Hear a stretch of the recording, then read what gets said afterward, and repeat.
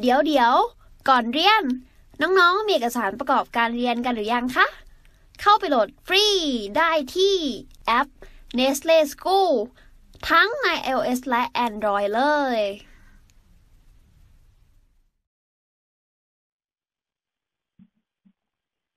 โอเคครับ เรามาดูกันที่ข้อ 24 กันเลยกำหนดให้ A และ B เป็นมุมแหลม โดยที่คอด A บวกคอด B น้อยกว่า1ส่วนโคเซก B ลบคอ B ลบ1ส่วนโคเซก A บวกคอ A ข้อใดต่อไปนี้เป็นจริง ข้อ A root cos A มากกว่า cos B ข้อ B root sin A มากกว่า sin B ข้อ C root tan A มากกว่า tan B และข้อ D root cot A มากกว่า cot B มาดูกันเลยครับ อ่า ก่อนอื่น อยากให้รู้จักกับเอกลักษณ์นี้ก่อนนะครับ ก็คือโคเซกกำลังสองเซต้าแล้วกันนะครับ ลบคอด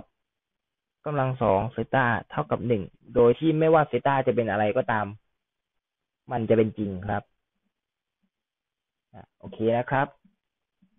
โอเค ดังนั้น หนึ่งส่วน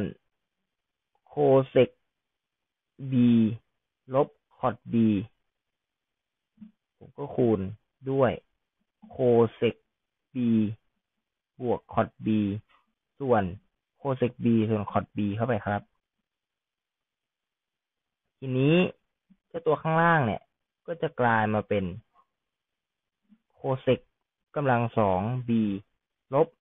คอด กำลังสอง b ถูกไหมครับ ซึ่งมันก็คือหนึ่งนั่นเองดังนั้นเจ้าตัวนี้ของเราก็จะกลายเป็นโคเซก b บวกคอด b ในทำนองเดียวกันครับหนึ่งส่วนโคเซก a บวกคอด a ก็คูณด้วยโคเซก a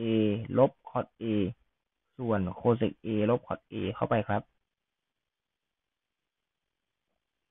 ก็ข้างล่างเนี่ยก็จะกลายเป็นโคเซกกำลังสอง a ลบคอดกำลังสอง a ครับ ซึ่งก็คือหนึ่งนั่นเอง ดังนั้นเจ้าตัวนี้ก็จะกลายเป็นโคเซก a ลบคอด a ครับ ทีนี้สมการของเราก็จะกลายเป็นคอด a บวกคอด b น้อยกว่าโคเซก b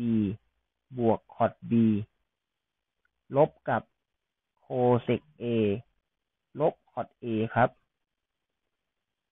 ซึ่งจัดรูปใหม่ก็จะได้ว่าคอด a บวกคอด b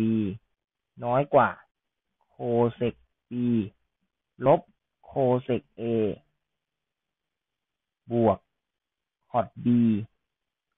บวก cot a ครับ อ่า นี่ครับ cot a cot b บวกกัน ตัดกันครับ สุดท้ายก็จะได้ออกมาว่า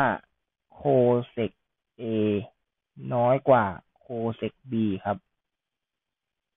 อ่า ดังนั้นโคเซกคืออะไรครับโคเซกก็คือหนึ่งส่วนไซน์ใช่ไหมครับ ก็จะเป็นหนึ่งส่วนไซน์ a น้อยกว่าหนึ่งส่วนไซน์ b ก็จะได้ว่าไซน์ b เนี่ย น้อยกว่าไซน์ a ถูกไหมครับ อ่า ทีนี้ครับ เนื่องจาก a และ b เป็นมุมแหลม อ่า เนื่องจาก a และ b เป็นมุมแหลมนะครับ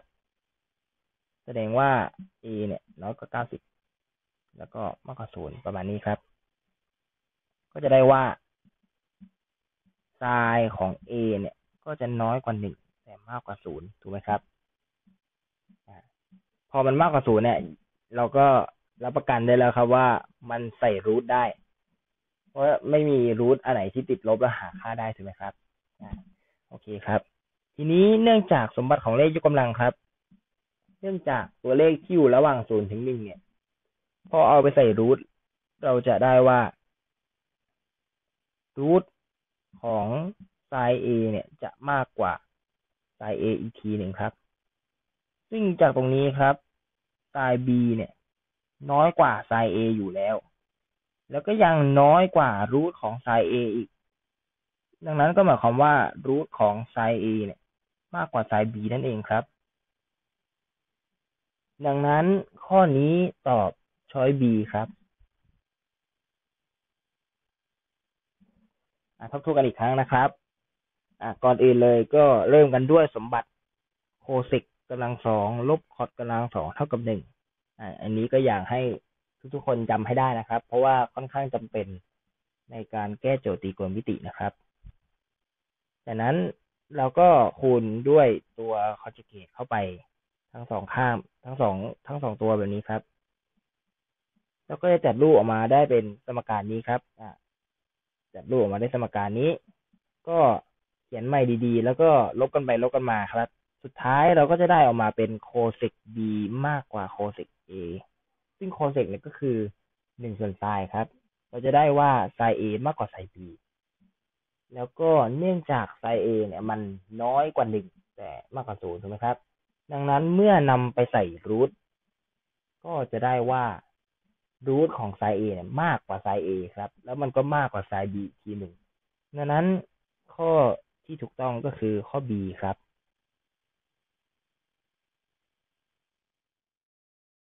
เรียนจบแล้ว อย่าลืม เข้าไปฝึกทำข้อสอบแบบจับเวลา ในแอป Nestle School กันด้วยนะจ๊ะ ถ้าน้องๆมีคำถามสงสัย ไม่เข้าใจตรงไหน ถามว่าในแอปได้เลย แล้วพี่ๆจะรีบเข้าไปตอบให้นะคะ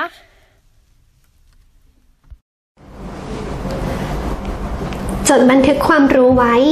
ทบทวนง่าย สบายตอนสอบ